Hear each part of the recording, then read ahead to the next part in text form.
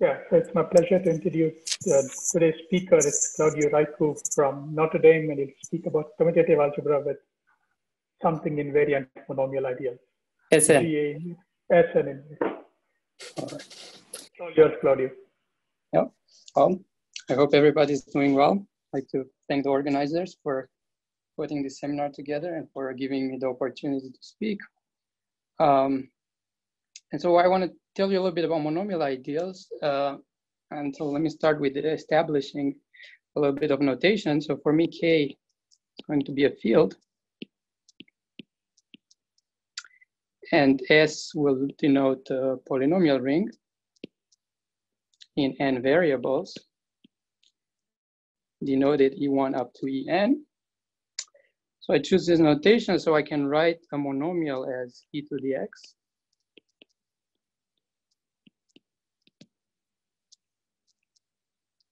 This is a typical monomial. And, uh, and x just denotes the exponent.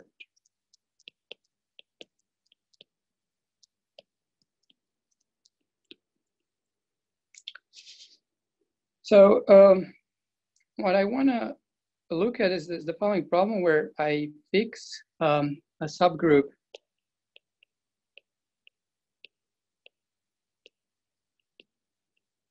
G inside GLN and let it act on the polynomial ring by um, a linear change of coordinates.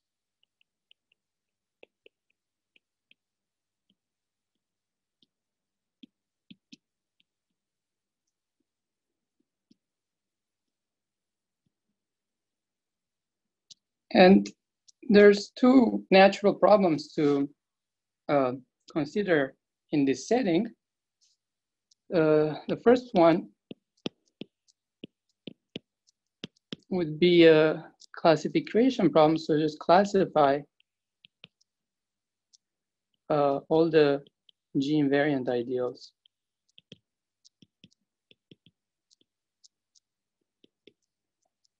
in the polynomial ring.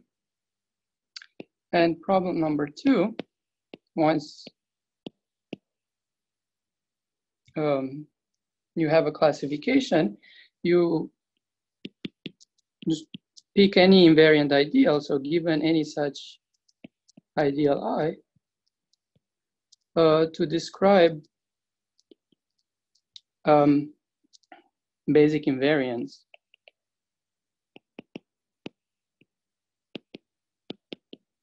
Uh, associated to uh. And so I'll put a list down, and but you can feel free to add to the list.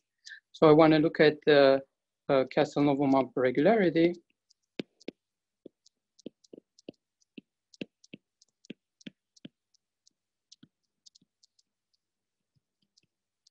or uh, projective dimension.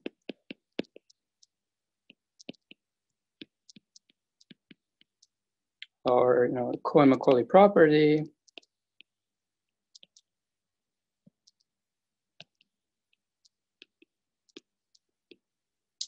Um, Betti numbers,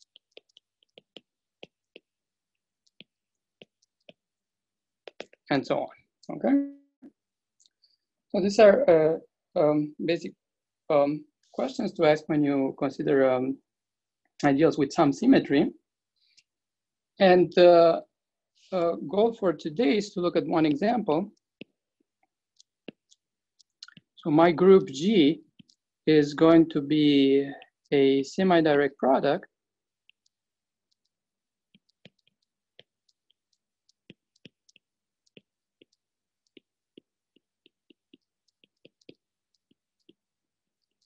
of um, the n-dimensional torus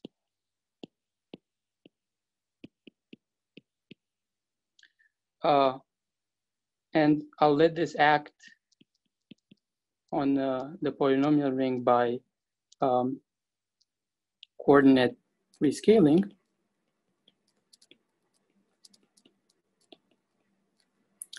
And this uh, Sn or sigma n is the symmetric group.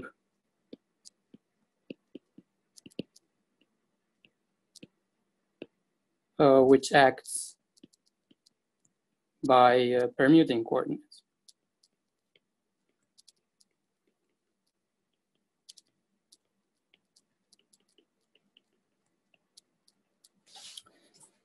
So I said this is a subgroup of uh, GLN, so you can realize it concretely.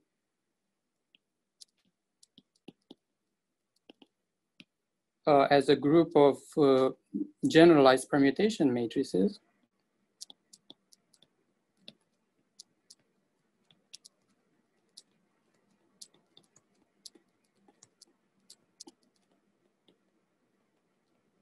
So what this means is that these are matrices where uh, each row and column contains exactly one non-zero entry.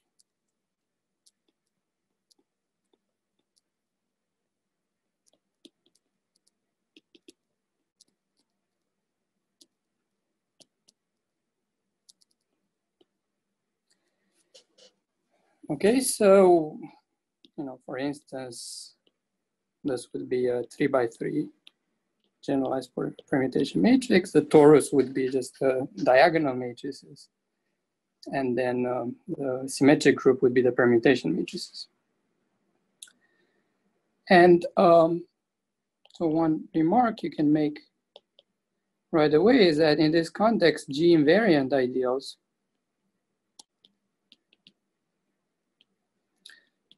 well, they have to be invariant under the torus action, so this would be monomial ideals.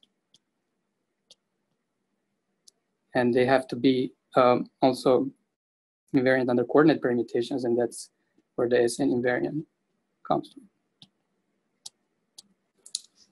So these are the uh, ideals that uh, I was referring to in the uh, in the title of the talk. Okay, so let's let's start with the most basic um, example of such ideals.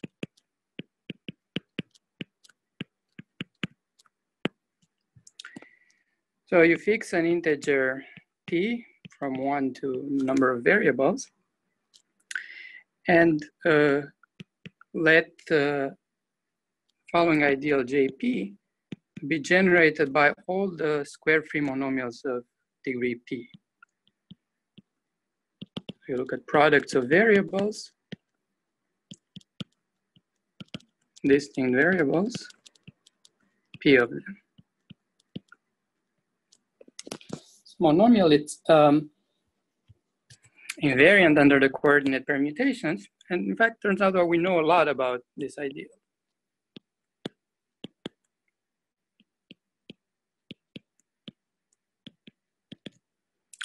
So, uh, well, it's a square free monomial ideal, so it's equal to uh, its radical.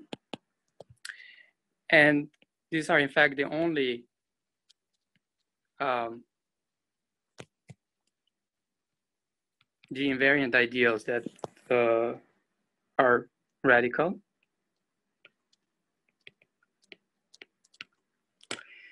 Uh, if you look at the zero locus of uh, the ideal JP, so I'll just denote that by you know the variety defined by JP, this is going to be just call it ZP minus one. And it's going to be the union of all the P minus one dimensional coordinate planes.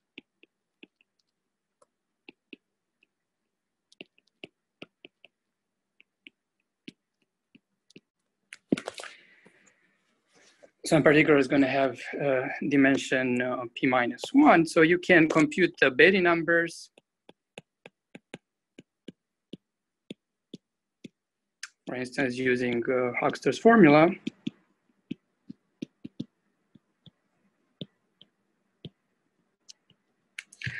Um, it turns out that these ideals um, um, are very nice. They have the Cohen-Macaulay property. They have a linear um, free resolution. Um, so I mentioned regularity and projective dimension. If you don't know what they are, I'll, I'll, I'll, get back to the actual definitions later, but let me just say I'm just trying to convince you that we know a lot about the invariance of these ideals. So the regularity is P and the projective dimension is the number of variables minus P. Um, so I said it has a linear resolution. Actually, I've learned from Adam Boocher how to see this really quickly. So uh, one thing you could do is you could form the following matrix where the rows are just the variables. So you repeat the variables uh, p times, so you get a p by n matrix. Uh, and then you just throw in some random coefficients.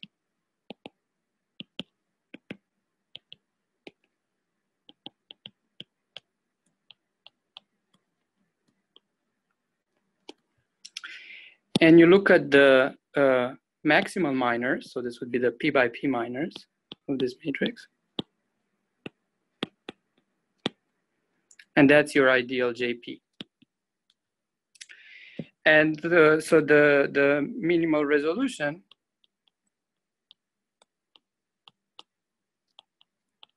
is in fact just an Eagon-Northcott complex.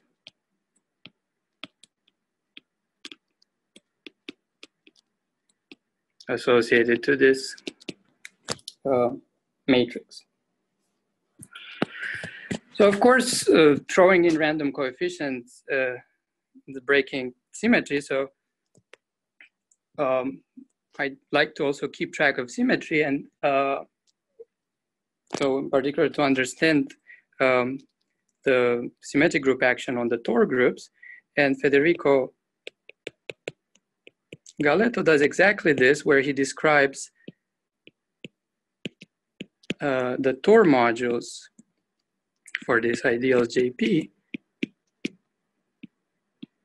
as representations of the symmetric group.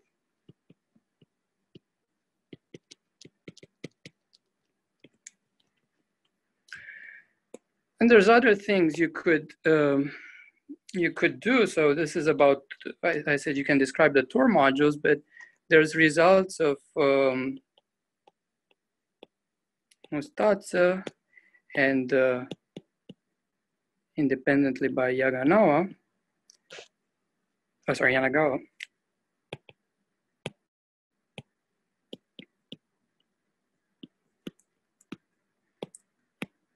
Uh, which work quite generally for um, um, square free monomial ideals and basically tell you that you can understand um, the Ext groups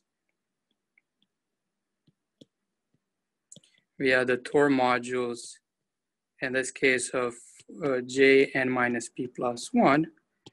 Uh, but in general, for a square free uh, monomial ideal JP here, you would throw in the Alexander dual on the Tor side. Okay, so we, we really know um, a lot about invariance of this um, uh, this square free ideals, and and if I was focusing on that, the, I guess the talk would be over now. But I want to go beyond uh, square free ideals, so I want to try to uh, go towards the classification problem now.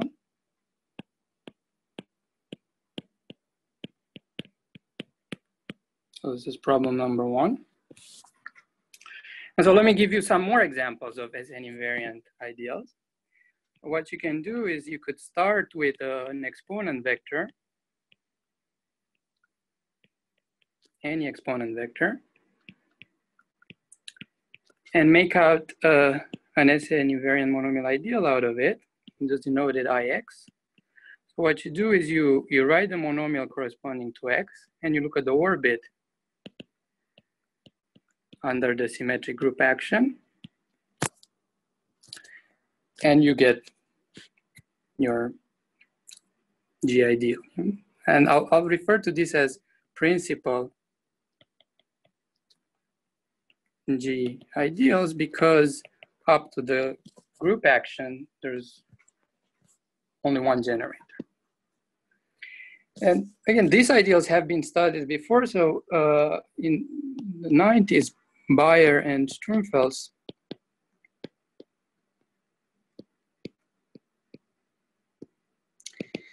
uh, call these permutohedron ideals.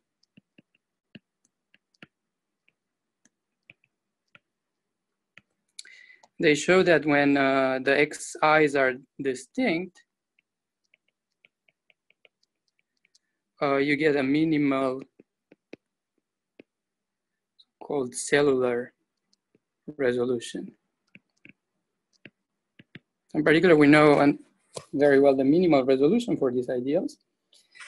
Um, when they're not distinct, uh, the resolution that you get out of their method is not uh, minimal, but you can still compute the uh, Betti numbers.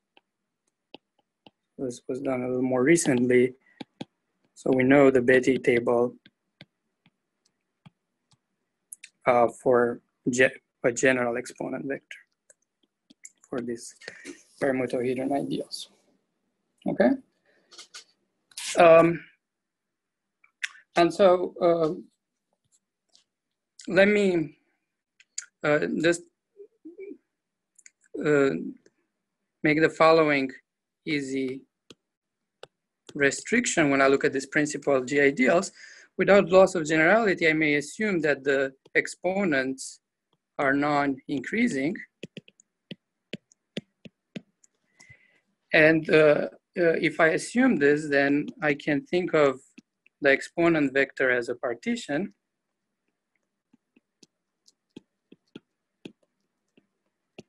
And I can picture it using a Young diagram.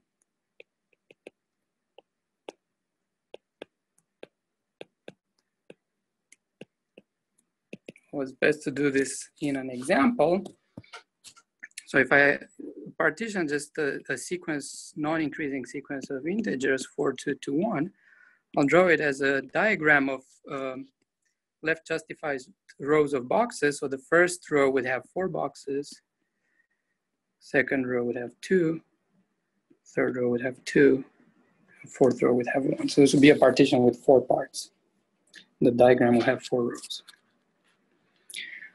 Okay, so um, partitions classify this principal G ideals, and uh, you can easily check the following exercise. There's a natural ordering on partitions, partial order, which by definition means that part by part xi is bigger than or equal to yi.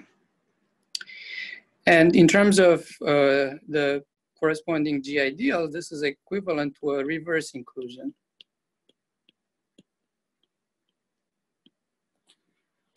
Uh, of this form, okay? So that's the structure of principal G ideals and just as a bit of notation that I'll use later, I'll write Pn for the set of partitions that classify such ideals. So this would be partitions with at most n parts. So I say at most because some of the exponents could be zero. And I'll always consider the ordering on partitions uh, described here, the partial order. Okay, so I guess um, now I'm ready to um, tell you what all the G invariant ideals look like. So let me make a definition. So now I'll, I'll look, instead of a single partition, I'll look at a set of partitions, X. So this is a subset. And uh, I will let Ix simply denote the sum of the principal G ideals indexed by this set. Uh, of partitions. And now, again, it's an exercise and this solves problem one.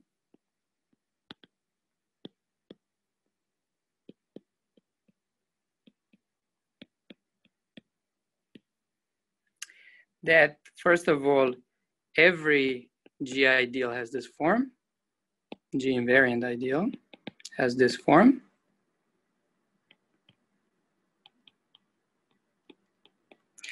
Uh, of course, there's a little bit of non-uniqueness here. Different sets of partitions could give you the same ideal. And so that happens uh, if and only if, uh, if you look at the minimal partitions in the sets X and Y, minimal with respect to the partial order that I described earlier, uh, they contain the same uh, minimal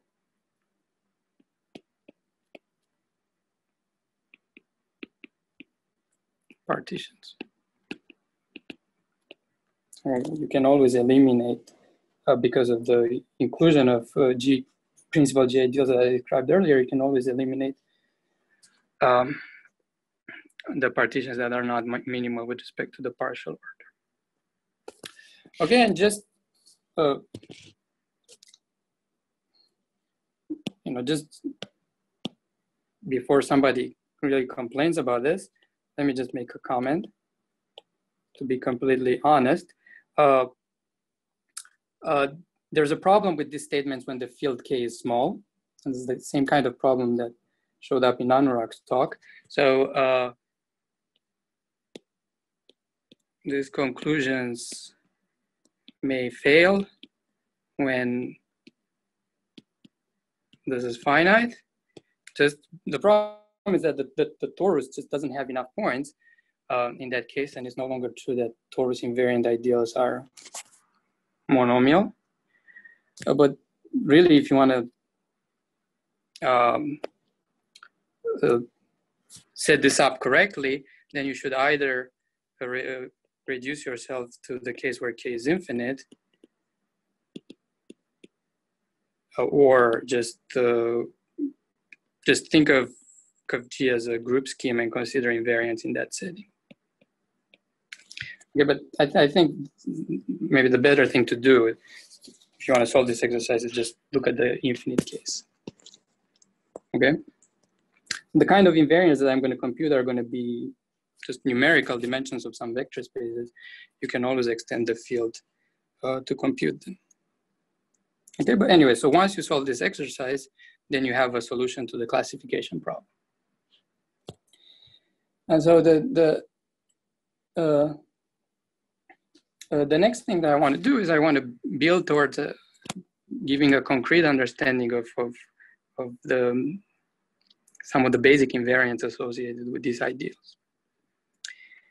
And just because I didn't define what I meant by regularity and projective dimension, let me just, just do it in one example.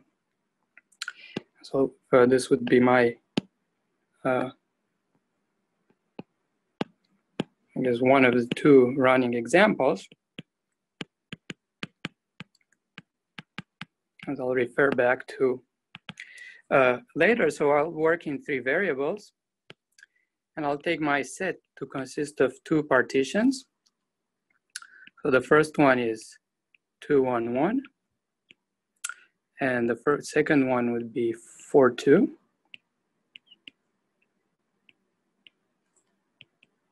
So this is 211 and 4, 2. And so what is this uh, corresponding SN invariant monomial ideal?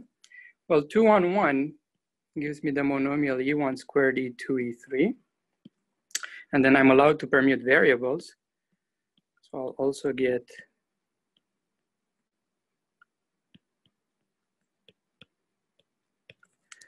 uh, these two other monomials. And then 4, 2 is E1, 4, E2 squared, and this has six permutations.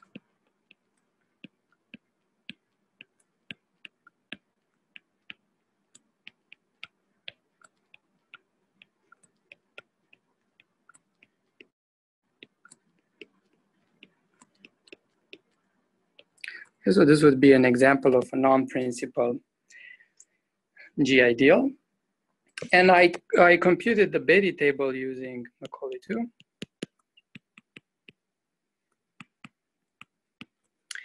and I found the following. So uh, uh, this ideal has three generators of degree four. There's no generators of degree five, and there are uh, six generators of degree six. Again, no other generators. And then if you compute the relations and, and relations between relations, you're going to get this table.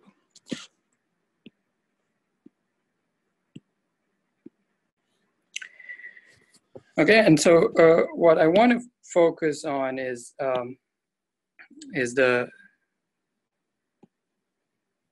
width of this Betti table, the, the index of the last column. So this is what's called the projective dimension.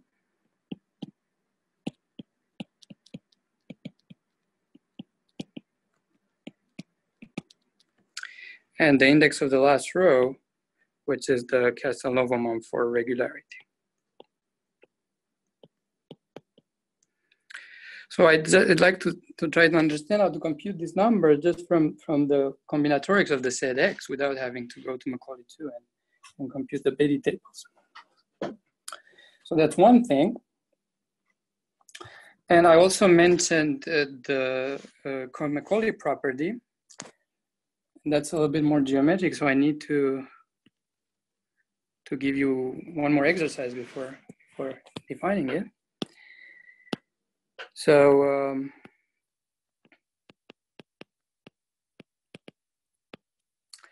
if you look at the uh, radical of this ideal Ix, then you're going to get a, um, radical G ideal. So you're going to get one of the JPs, uh, which one uh, is the one where P denotes the least number of parts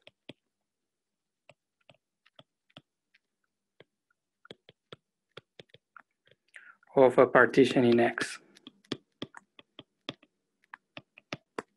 And this set X. And so uh, what that tells you is that tells you that the dimension of this quotient ring, which is of course the same as the dimension of the zero locus of the ideal, is the same as the zero locus of uh, JP, and, and as I explained earlier, this dimension is P minus one. Okay, so in our example, and this is an exercise, but in our example,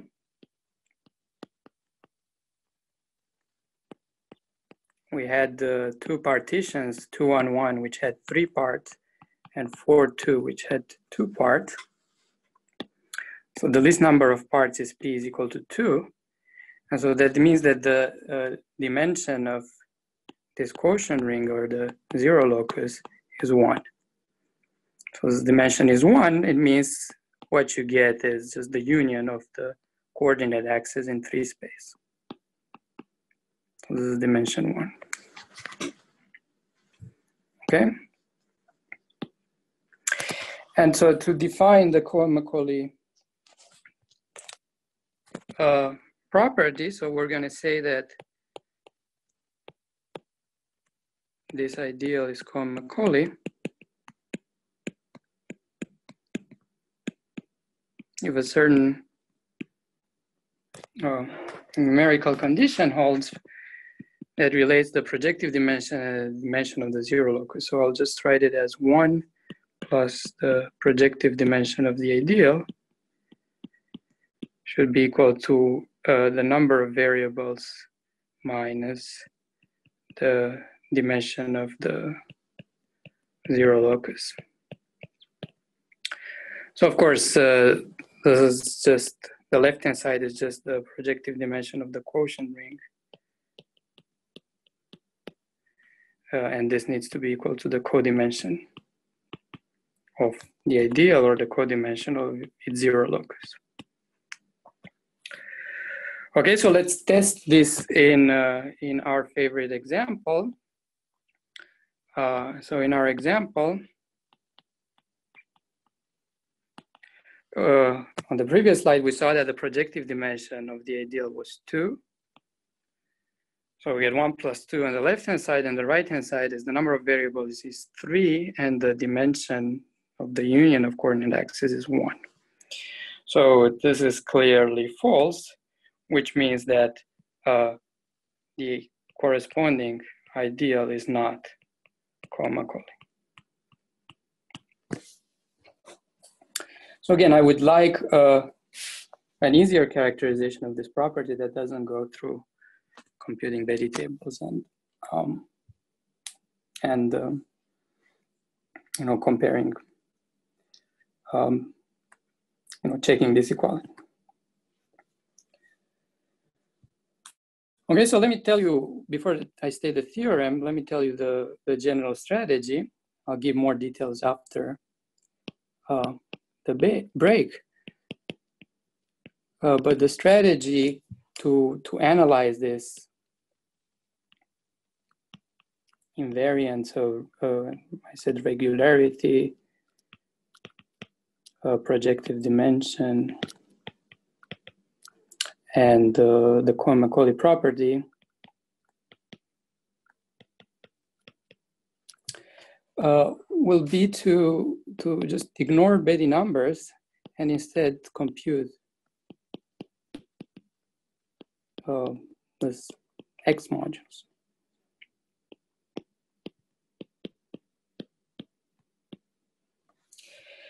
and then uh, use the fact that the, the uh, vanishing and non-vanishing properties of these Ext modules uh, encode regularity and projective dimension. So you can compute uh, projective dimension, for instance, as the maximum index where xj is non-zero. And for regularity, you also need uh, to analyze the graded components of Ext. So you would get something like, it's a little more complicated, but the point is that it's completely determined by, uh, by knowing the Ext modules. So you have to look at Xj in degree R, you want that component to be non-zero. So you maximize this quantity, okay? And uh, so why do I want to ignore Betti numbers? Because they turn out to be quite complicated, even in this case. So there are, they, first of all, they may depend on the characteristic of the field. So Betti numbers, uh, well, first of all, they're hard to compute. And one reason why they're hard to compute is that uh, her examples of Satoshi Murai, uh, they show that uh, these numbers may depend on the characteristic of the field.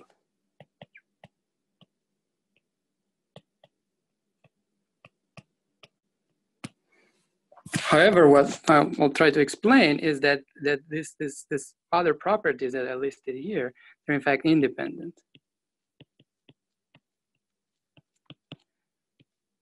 On the characteristic of K. Okay. So that's um, the general plan. And how am I going to compute um, Ext modules? So to compute Ext,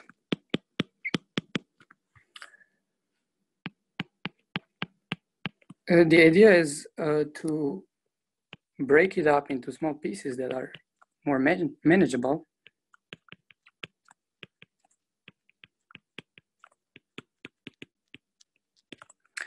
Um, in the following way, so by constructing a filtration,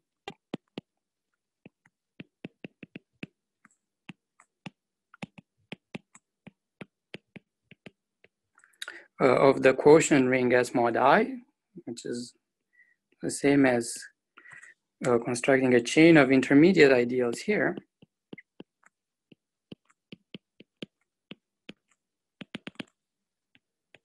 Uh, which will turn out to be finite. Uh, and it has the following property, um, namely that uh, when you compute x, x of i into s is more or less the same as x of s mod i. So let me just write it.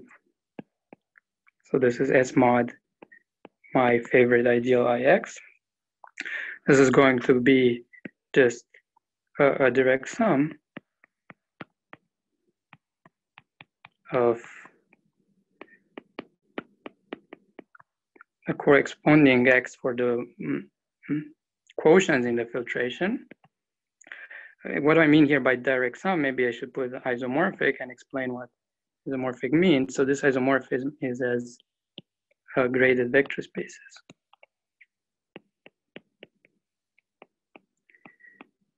So only after this numerical invariance that depend on non-vanishing, this is enough um, for our purposes. And uh, of course, you, you replace something that you don't know how to compute with something else. So hopefully the, the right hand side is easier to understand. And so this is, is nicely behaved. So um, it's more manageable. In fact, it can be computed uh, ex completely explicitly. These quotients turn out to be nice Cohen-Macaulay modules. And we, we, we can compute regularity and projective dimension. We, we, we know a lot. So I'll, I will go into more details and, and, and do an example after the break. But that's uh, uh, the general idea is to break, um, break this complicated Ext module into pieces that are easy to understand. And uh, uh maybe one comment to make is that it's indexing this filtration by the natural numbers is not the best thing to do. Uh, it's better to index the filtration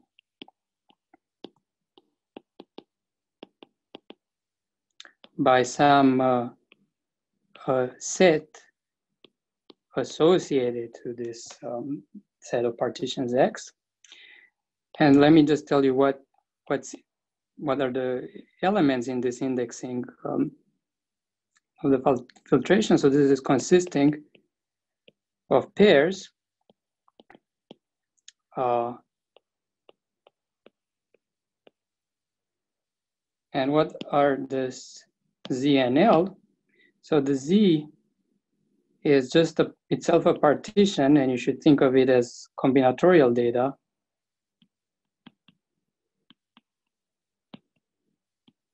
And you should think of this L, uh, which is a non-negative integer, as, as some more some geometric uh, information. In fact, uh, if you match the T's to the pair ZL, then this L is in fact the dimension of the module IT mod IT plus one.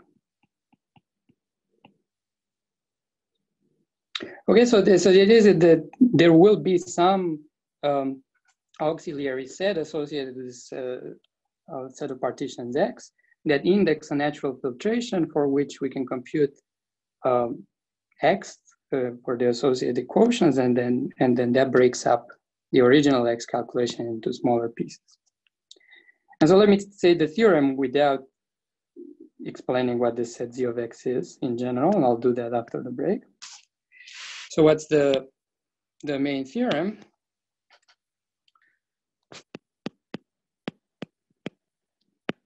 So let me assume that my ideal is uh, it's not the whole ring to make things interesting. Then you can compute the regularity and projective dimension in terms of this auxiliary set. So um, even my earlier description of regularity and projective dimension shouldn't be surprised by this um, um, maximization process here. So what you have to do is you have to look at the max of the size of the partition Z plus L plus one as ZL varies into this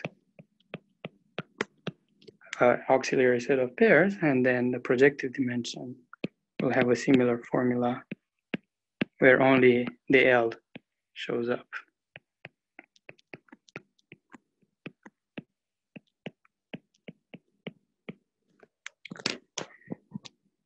Okay, and so let's just do an example to see how easy this is to apply. Well, we already have our favorite example where n is 3 and x is 2, 1, 1, and 4, 2. So it will be an exercise for you later to determine the auxiliary set z of x which I only told you it exists. I haven't defined it. Let me tell you what it will turn out to be. So um, again, it's a pair. The left-hand side is a partition. In this case, it's the empty partition, and then L is one.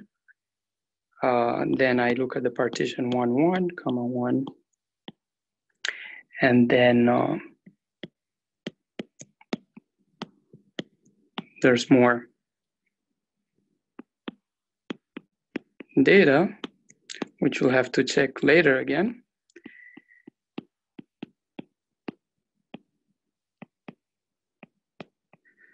So I think there's just six pairs that you get. Okay, so let's compute the size of z plus L plus one. The size of the empty partition is zero plus one plus one, that gives me two. Two plus one plus one is a four. 3 plus 0 plus 1 is a 4. 4 plus 0 plus 1 is a 5. 5 plus 0 plus 1 is a 6. 6 plus 0 plus 1 is a 7. And this is the 7 that we saw. Uh, it's equal to the regularity uh, of this G invariant ideal. We computed the 7 using the Betti table. And then n minus 1 minus L is, uh, so n is three variables. We look at two minus L, so we get one, one, two, two, two, two. And this, any of these twos just means the projective dimension of the ideal. So this recovers uh, the example that we had earlier. Uh, of course, I, I really will need to explain to you how to to get this auxiliary set. All I, all I want to say is that this one here uh, just measures the dimension of the ideal. And the fact that you have zeros on the right-hand side is just a, a, manifestation of the fact that, that, that there will be embedded components at the origin for, uh, for the scheme defined by the ideal. Okay, so I'll, I'll, I'll do, I'll talk about the filtration in more detail after the break and do a, a smaller example to, to understand how it works. So I think I'll stop for now. All right, so uh, plan now is to, to explain a little bit about the filtration and then uh, talk about the Cohen-Macaulay property, which I haven't yet mentioned.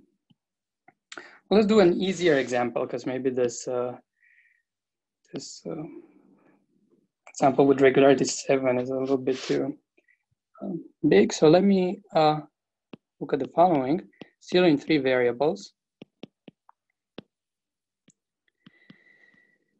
Uh, but let me take a slightly smaller partition. So I'll look at 111 and 2, 2. So what is the corresponding ideal? 111 is just uh, E1, E2, E3. There's no interesting permutations. And then 2, 2, E1, E2 squared. And then two more. Okay, so just uh, can have fun checking that this is the same as the intersection of uh, squares of ideals of linear forms.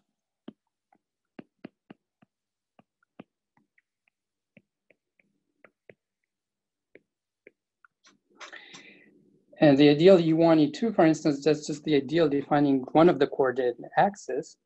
So if you intersect the ideals without the squares, you're going to get the ideal defining the union of coordinate axes, and that's J2. But since I'm intersecting the squares, what I'll get is the symbolic square. of J2.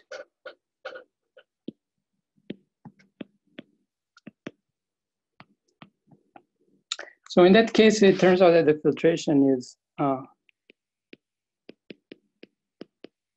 very simple. It's just two steps or two interesting quotients. So you have S, you have the symbolic square, and in between, you're just throwing in J2. Okay, and there's uh, two uh, quotients in this filtration, S mod J2, which we already talked about, we understand very well.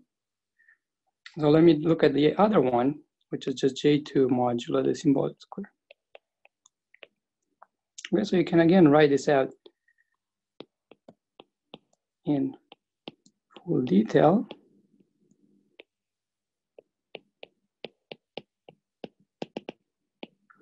So it has three generators. Let's just look at the first one. So E1, E2. It, E1, E2 is clearly annihilated by the third variable, E3 but is also annihilated by U1, E2, oops, by the product.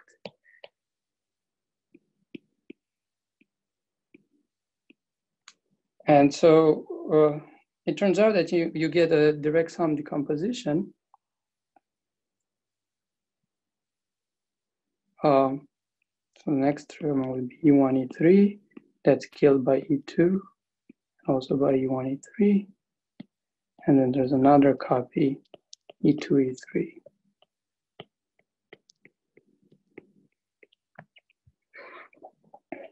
Okay, so, and my claim is that this is something that is uh, uh, easy to uh, understand. So let's just, just focus on the first term, this guy.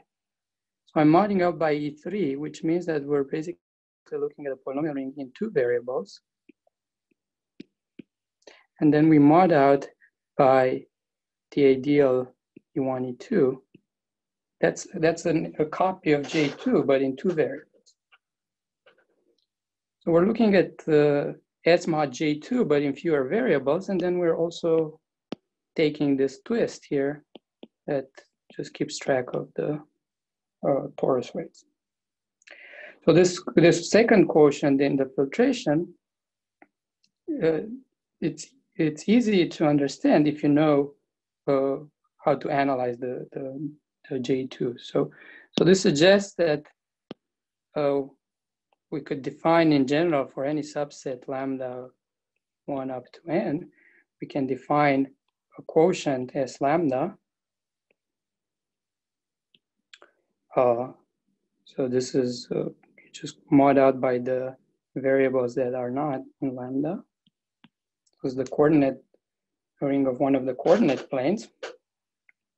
And each of these S lambdas has a uh, corresponding ideals JP, and fewer variables. And this direct sum decomposition here, I could just write it as a direct sum over all lambdas of size two. There's some twist, which I'll write e to the lambda, and then S lambda mod J2 lambda. And the twist doesn't do much. And this I, I understand because I understand well uh, quotients of the polynomial ring by the square free ideals JP. Okay, so that's that's what happens in this uh, uh, simple example. Let me maybe draw this a little bit more geometrically. So there's a there is a geometric interpretation of this uh, this decomposition. So first of all, you can think of each of these um, lambdas, this in indexing sets lambda. So in the first case was one, two, and then it was one, three, and then it was two, three. That corresponds to a coordinate plane, or in other words, to a point in a discrete Grassmannian of parametrizing of coordinate planes. Of course, that's just a finite set of points. Um, and so you can, what you can do is you can, so downstairs you have this union of coordinate planes, and then you have uh, some module, which is this J2 mod J2 symbolic squared supported on this union of coordinate planes. And so what you can do is you can form upstairs a, some universal bundle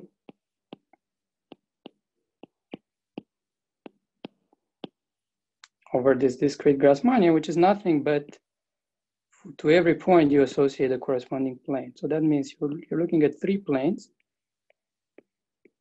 upstairs. And such each plane, you look at the zero locus of the corresponding J2. Well, that's just the union of axes. Okay, so uh, so then you take the coordinate ring as lambda mod J2 lambda, and then maybe twist by line bundle, twist by this character E lambda. Putting everything together, you get some module on this universal bundle. And you can just sort of, you can think of this decomposition as just describing this quotient as, uh, you know, there's a map down here uh, to three-dimensional space, and, and you should you can think of this quotient as just the, the direct image of uh, of this M. And, and this is a general setup. Whenever you're in this setup, there's a way to translate the calculation of Ext module downstairs uh, to a calculation upstairs, and, and, and it's, it's just a very simple version of Grothendieck duality. So Ext calculation can be done upstairs.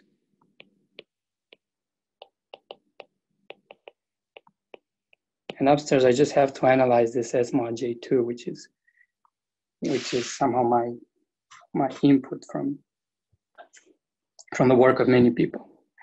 Okay. Anyways, that's that's uh, how you can think of, of uh, the quotients that appear in this natural filtration. So what have we done? We have uh, uh now an S mod J2 and we have J2 mod J2 squared that we understand well. And they turn out to be some Cohen-Macaulay modules, dimension one. We know everything about them. And so what, what we're after is, is the quotient S mod, the symbolic square. And so you can form a short exact sequence. So this maps onto S mod J2, and then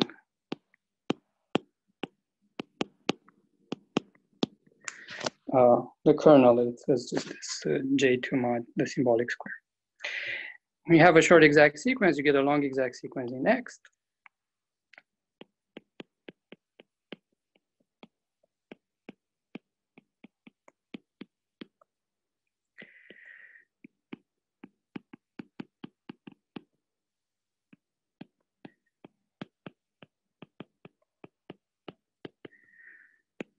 And um, well, in this case,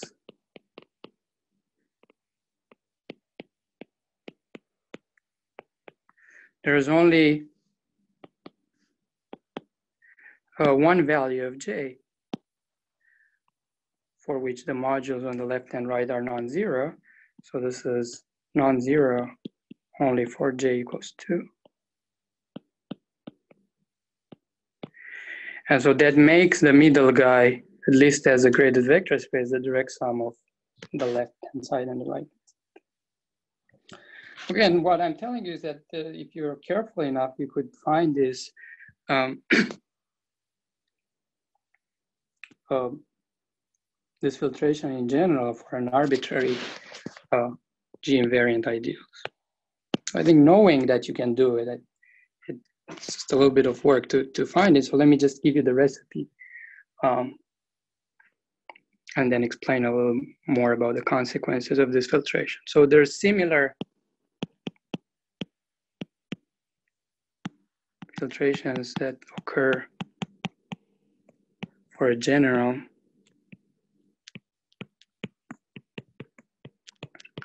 uh, ideal IX, and I said that they're uh, uh, indexed by this set of pairs. And uh, in the simpler example of the symbolic square, when X consisted of these two partitions, the associated set of pairs was empty partition comma one.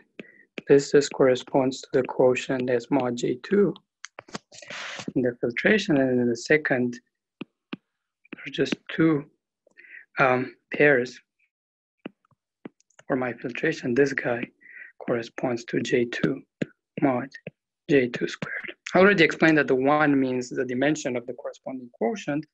And then the partition encodes really the generators of of this module. Because J, for J2, the generators are the uh, product of two distinct variables. That's the one-one partition. So in general, of course, the question is how do you uh, construct this set C of X? So for that, you need to establish which pairs um, belong to this indexing set. And so I need a, a little bit of more notation to, to before I tell you um, um, how to do this. So I need to talk about the truncation of a partition.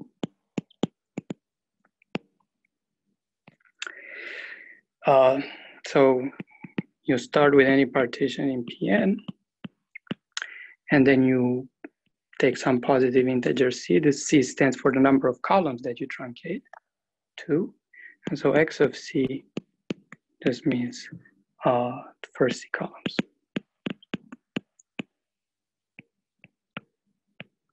Meaning you draw the diagram and then you pick up the first c columns. So for instance, if your partition was a 4, 2, and you truncate to the first two columns, and just that's just a 2 by 2 rectangle. Okay, so that's one thing that I need. I also need to talk about the transpose of a partition, which just means you replace uh, rows with columns. Or you transpose the diagram. So if you look at 4, 2, and you transpose it, then you get 2, 2, 1, 1. Okay, so I'm going to tell you next the recipe for figuring out the pairs, just in terms of um, uh, the set X. So um, just take any partition Z. Okay, we, we fixed um, our indexing set X. Okay, and then we define L to be, uh, oh, sorry, we define C to be Z1. This is just the number of columns in the Young diagram of Z. And this number L, you set it to be the minimum. And with some explicit formula here, where you run over partitions in X with the property that when you truncate to the first C columns, then you're smaller than or equal to Z. And then the, then the idea is that I'm going to put the pair ZL in this auxiliary set, provided that everything goes right. So what can go wrong with this definition of L? there's two problems. One of them is that this set over which I compute the minimum may be empty. So let me let me ignore that case. So if this set happened to be non-empty, And another problem that can occur is that when I minimize this, I can get the value minus one if x prime c plus one is, is zero, and I get minus one, and my L should always be non-negative. So I want to get rid of that possibility too. So if this set is non-empty and L is non-negative, then I'll place the pair ZL in this auxiliary set. And, uh, and you can check that this uh, this happens only for finitely many pairs. So the point is that if, if Z is too big, uh, either the corresponding set is empty or, or L turns out to be negative. Okay, so uh, I guess I took more space than I wanted. So let's do an uh, example.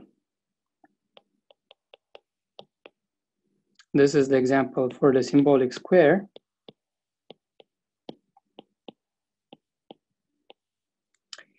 And I will take, uh, you can take any z you want, but let's take z to be 1, 1. Because this showed up as part of one of the pairs. So this partition has one column, so c is equal to 1. So what do I do? I need to do is I need to take every partition in X and truncate it to the first column. Well, the first one already has one column, so there's no truncation going on. And here I get one, one. And then I need to compare it with Z. So is this smaller than one, one? Well, clearly not. But the second one is indeed smaller than one, one. Okay, so when I look at the formula for L, uh, then I need to look at X, the partition X, which is 2, 2. I look at X prime 1 plus 1, that's X prime 2 is the second column that has size 2, and this L is the minimum of 2 minus 1. It's just 1. So this is why we saw that the pair, this partition and L equals 1 was in z of x. And there's only one other pair where you take the empty partition and L is still one. Okay, so it's a fairly explicit recipe to um, um, to compute this uh, indexing set, and maybe I'll leave this as an exercise to check that the bigger example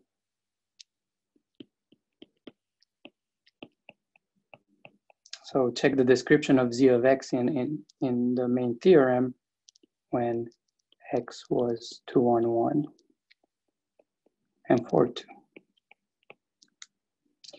This should be a little more work. Okay, but the point is that it it's very explicit, okay? So uh, once, I guess I kind of um, told you how you um, how you get combinatorially this um, index is set. So I'm ready to, to tell you the, the, the next theorem, which is about uh, uh, the Cohen-Macaulay property. So let me make the, the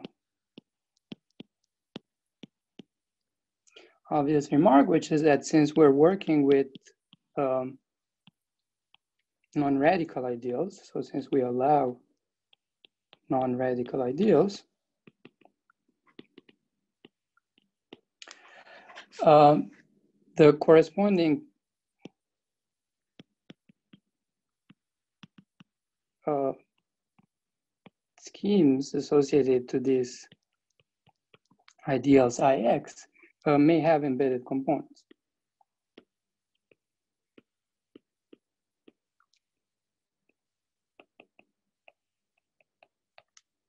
And then, uh, and then the next theorem will exactly classify combinatorially when this happens and we'll relate it to the Cohen-Macaulay property. So uh, again, I'll take a set of partitions And to phrase this, I should uh, ignore the non-minimal partition. So let me assume that this is a set of incomparable partitions. And um, I'll let P denote the dimension of the zero locus plus one. This is so that when you take the radical, you get JP. Something we discussed earlier. Okay, and then the following statements are equivalent. Uh, so the ideal is Cohen-Macaulay.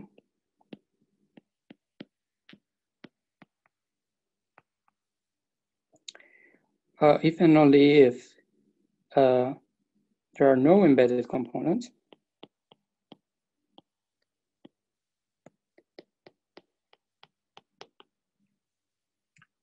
So we say that the ideal is unmixed. So I think of this as a, maybe a geometric characterization. And how do you test this really quickly? Well, the, the, I think the, the easiest way to, to test this is you just look at every x in x. And this needs to satisfy uh, the following condition. The parts in the corresponding partition, x1 up to xp, they have to all be equal to each other. This is certainly something that's easy to check, uh, but you could also phrase everything in terms of the indexing set for the filtration. So every pair ZL uh, satisfies the property that L is equal to P minus one. So I said I want to think of these as being more combinatorial interpretations. And uh, this would be more geometric. Uh, and just want to draw attention again at this L. So basically what we're saying, and I'll maybe explain this even better um, on the next slide, is that these uh, L's that show up in the pairs um, somehow characterize the possible uh, embedded components or possible just components of the scheme associated to IX. So saying that all the L's are equal to P minus one, which is the dimension of the scheme, is saying that there's no components that are embedded. And I could add to the list. So for instance, this is uh, this is also the same as saying that the maps from Ext to local cohomology are um, injective.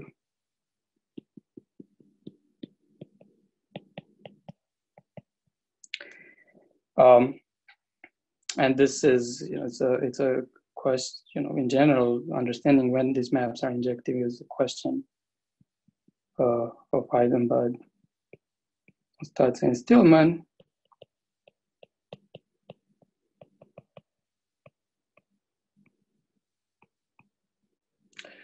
Uh, which is essentially um, answered the recent work by Hailong and Alessandro and Linquan so um, I guess in, in, in, their language, what it says is that these these S are uh, uh, full.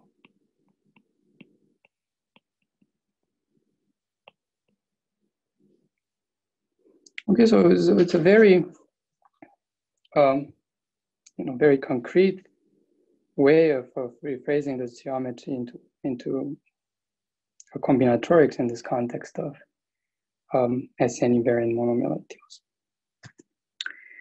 And again, running out of space, but let's analyze our examples.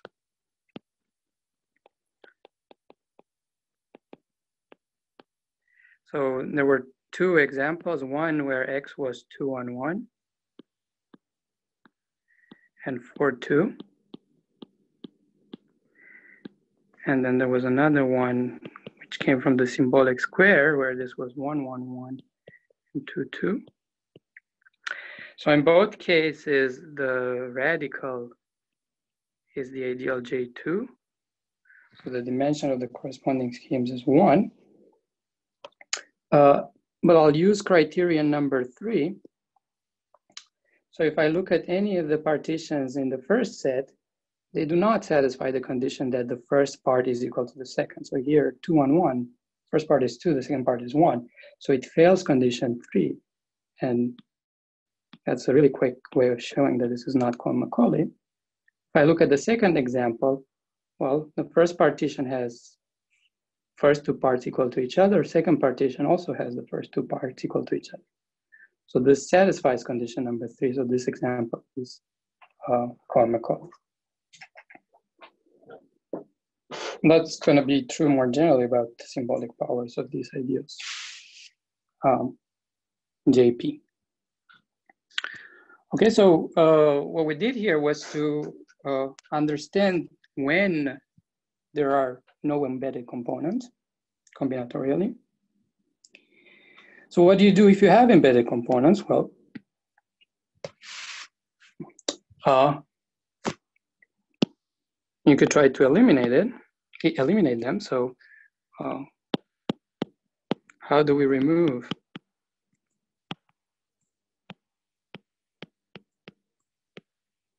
embedded components. Well, the answer is to use saturation.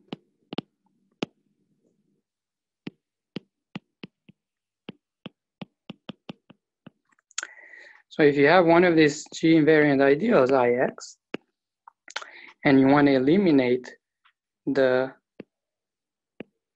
uh, components that are supported on the zero locus of JI, you saturate,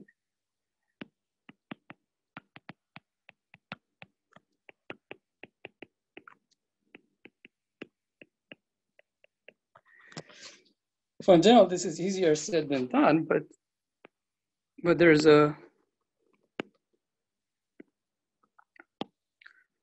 a formula to compute the saturation.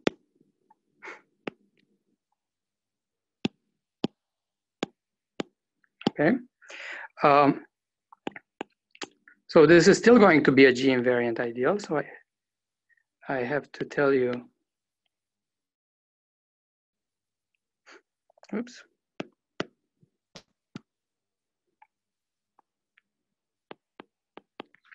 What is the corresponding uh, set of partitions? Well, all you do is you just remove columns of size at most i from each x in x.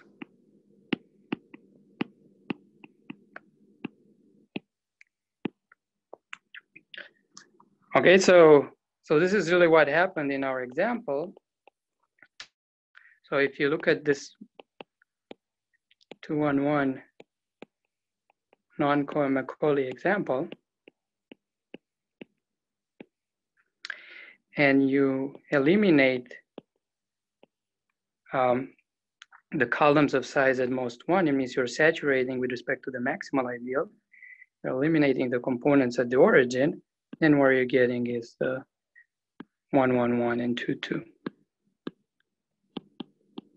which corresponded to the symbolic square of uh, of J2. So perhaps a, a better picture for the uh, scheme associated to the ideal IX would be that there's really this, the coordinate axes, uh, they each appear with uh, multiplicity two. But then, then there's also an embedded point here at the origin. Okay, so that's uh, that's uh, in terms of the that's how we compute the generators of the saturation. Um, but then you might ask what happens with the um, uh, with the filtration when you saturate.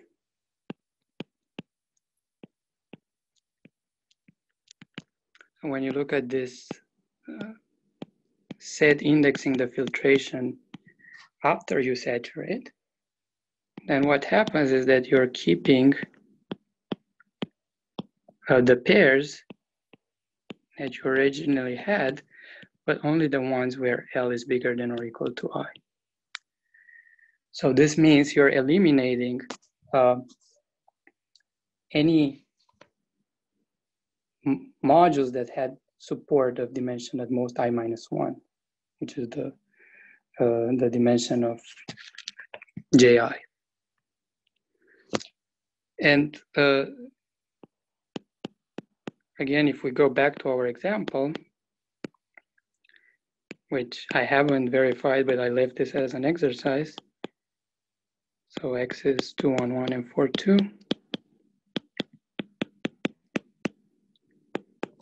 Um, I remind you that the set of pairs that you get is some pairs with L equals 1, and then a bunch of pairs with L equals 0.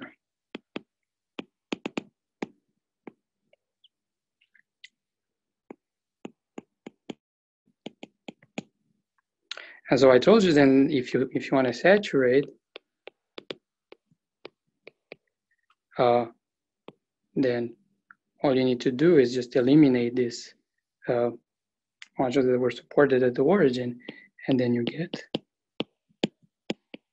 a set of size two, which corresponds to the uh, filtration with two steps where you throw in the ideal J, J2 in between S and the symbolic square. Okay, so this fits in well with um, um, with the examples that we've uh, we've seen before. Okay, so that these these these are the um, maybe the, the the main results that that you can establish in this setting. Once you have these concrete formulas, there are more things you could do.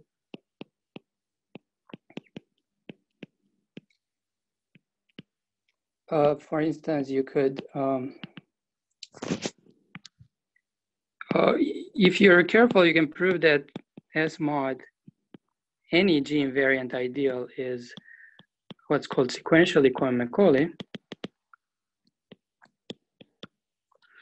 Uh, you can look up the definition due to uh, Stanley, but it, it has to do with constructing an appropriate filtration where the quotients are Cohen-Macaulay and satisfy certain um, increasing dimension. And, and the way you you construct this filtration, I guess, a posteriori is by, by just uh, taking these saturations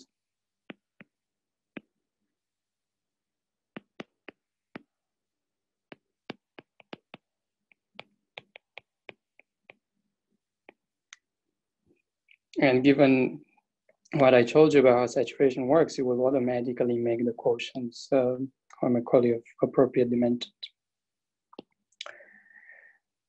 Uh, you could also ask about characterizing uh, which of these G invariant ideals have a linear resolution.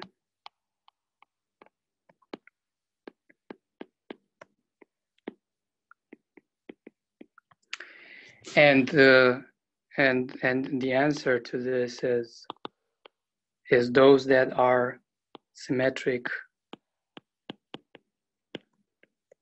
shifted ideals.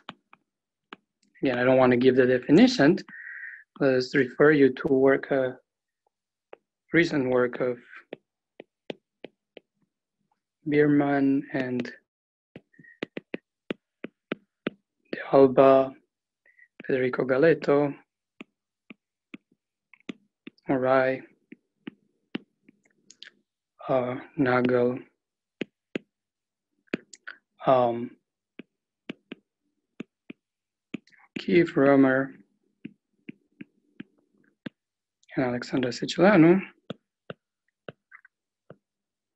Uh, so they prove, they construct this, this class of ideals that, that G invariant, they prove that they have a linear resolution. They ask if there's something else.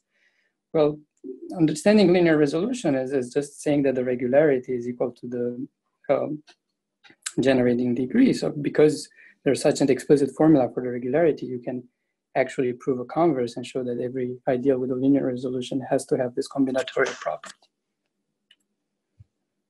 Uh, there's other things you could do is you could look at the regularity of powers and actually don't know how to compute regularity of powers for an arbitrary G invariant ideal. But if you look at the permutohedron ideals, uh, there's an explicit formula for the linear function that computes the regularity of powers. So the results of Cutkosky and Herzog and Trung say that you're always going to get a linear function. The question is whether these explicit um, coefficients, and and you can compute them but to compute them, you have to solve some some optimization problem because remember, formula for regularity had to do with maximizing some um, some um, linear quantity over a finite set of points. So it can be quite difficult. In particular, I, I would be interested in understanding more uh, about not just permutohedron ideals, but but general ideals and then uh, there's another thing that, that you might want to study, which is uh, you fix your set of partitions, but then vary the number of variables. So these ideals, you could look at them inside bigger and bigger polynomial rings and then try to understand what happens with the regularity. And it turns out that this is, again, a linear function and it's linear in n. Um, for instance, Satoshi Murai proved this by analyzing the Betti numbers. You could prove it by looking at the formula for regularity. Uh, and, and this fits in with a, a, a general question um, of Lehn-Nagel, Nguyen, and, and Romer, whether when you look at sequences of SN invariant ideals, not necessarily monomial, in increasing number of, of, of variables, whether you get uh, linear behavior the regularity. So I think that's still open, but uh, we have at least two proofs in the monomial case. Okay, so let me stop here. Thank you, Claudiu. So if there are any questions, you can type it in the chat box, but there is one that is already posted. And the, the question asks about uh, whether what happens when you replace SN with other subgroups of SN and what part of your approach generalizes to that context? That's a very good question. So, for instance, I mean, the uh, I don't know. I would like to, uh, but, the, but I think I think it would be interesting already just to take replace SN by the trivial group and understand whether such filtrations exist for general monomial ideals. Hmm. And I mean, I, I, I, I don't know. I haven't been able to produce them. Um, certainly when, for instance, when Mustață looks at um, Ext for a square free monomial ideal, he constructs some natural filtrations on the Ext module, not a filtration on the ideals. But I mean, I'm sure there is some more structure on this Ext module that, um, that needs to be understood. So this is how far I got. But, but, but I think this idea of, of considering filtrations should, should give more results. Beautiful talk, Claudiu. I had no no notion that there would be such a theory. So, so the, complete. Uh, it would be nice if there was something like this for general monomial ideals. I don't yeah, certainly would. I don't know what the chances are, but it would. Yeah. Um, we're going to have a tea room after this, and I'm about to put that in the chat room, the address anybody can feel free to join us. Claudiu, I hope you have some time. Yes, maybe I'll try to log in with my computer so I can see people. Yeah. So, um, whoops, I wanted to send this to everybody. There it is. So it's now just just put into the chat the address of the tea room. It's the same as the one that we was in an email yes, uh, earlier. Yes. I think so, yes. Yes. Um, yeah, it was. How, how hard are the proofs of these things? You didn't give much away. Well, not so hard. Uh, um, you, if you know, if, if I told you the filtration, I told you the index instead of the filtration. If I Mhm. told you the filtration, I think it would be one after me. The problem. Um, so it turns out to be. Is there a question? I'm not. I'm not hearing it. All So right, the- I, I think it's time to adjourn to the tea room Yeah. in any case. So anybody who wants, join us there. And uh, that will be great. See you very soon.